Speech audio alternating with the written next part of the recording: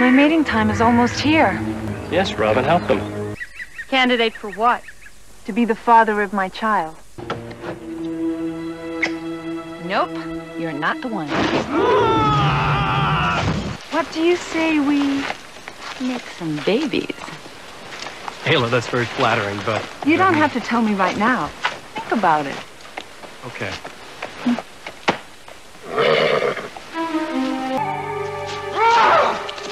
Did it ever occur to you that maybe I'll let her knock me?